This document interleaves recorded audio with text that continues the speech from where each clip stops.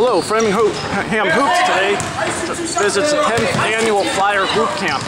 It's in its final day of the last of two sessions for 2009, and today we hope to talk to coaches and players and also perhaps get some additional footage from the camp.